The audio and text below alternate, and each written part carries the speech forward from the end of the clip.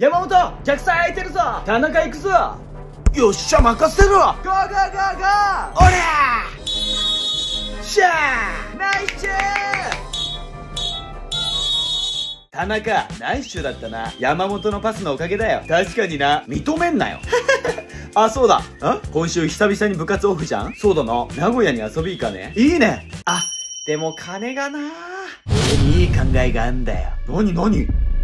電車賃浮かせるいい方法があんだよ。どうやんだよ。俺ら三島から静岡までの定期あんだろおう。それを使えば150円で名古屋まで行けちゃうんだよ。そんなわけないだろ。3000円はかかるだろ。なあなあ、ちょっと頭使えよ。え？先輩から聞いたんだけど、静岡からそのまま豊橋まで行ける電車があんだよ。ほう。で、豊橋で名古屋行きに乗り換えんだろほう。そして名古屋に着いたら、おう、嘘つけばいいんだよ。いや、なんて言うんだよ。隣の駅から来ましたって。ほう。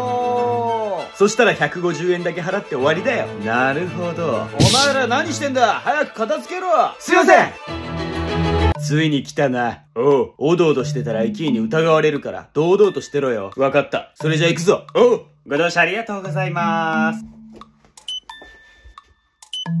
よし、このまま豊橋まで行くぞ。おう。ん？チップを拝見しますね。ああ、これです。僕もです。はい、ありがとうございます。ビビったおい、本当に大丈夫だよな。大丈夫だって。よし、次は名古屋行きに乗り換えだ。お、お、ん？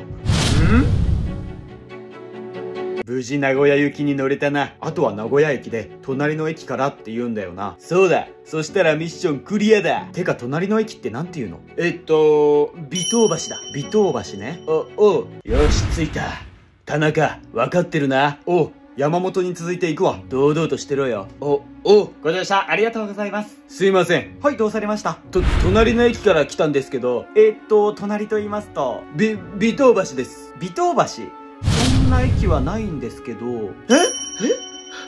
ど、どういうことだよもしかして、お当橋のことですか？ああ、そうです。僕もそこからです。切符はないんですか？ちょっと買えなかったんですよ。券売機もありますし、係員もいるはずなんですけどね。いや、でも、急いでまして。じゃあ改札は強行突破してきたんですか？いや、なんかその、そこの駅員さんがいいよって。そうです。通してくれました。そうですか。はい。では、150円ですね。あ、ちょっと待ってください。はい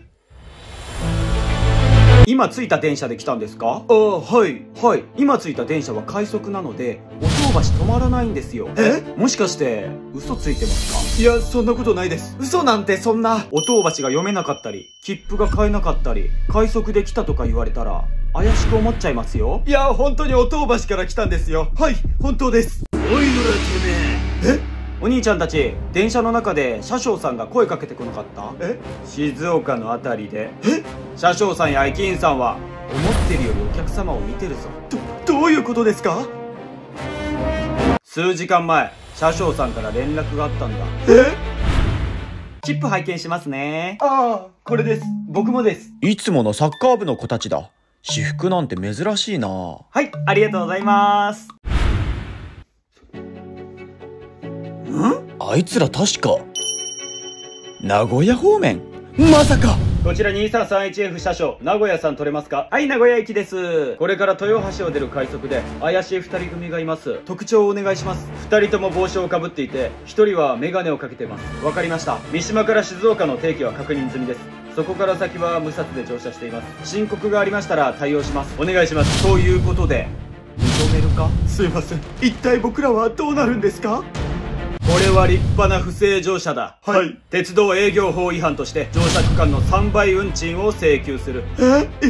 い、いくらですか？二人で2万7060円だ。そ、そんな。許してくださいよ。もうしませんので。しないのが当たり前だ。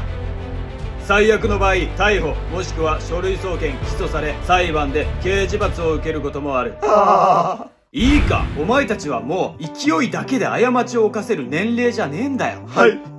お前たちの浅はかな行動で平和な毎日が一瞬で終わってしまうんだぞ。はい。お前たちの大切な未来は自分で守っていけよ。すいませんでした。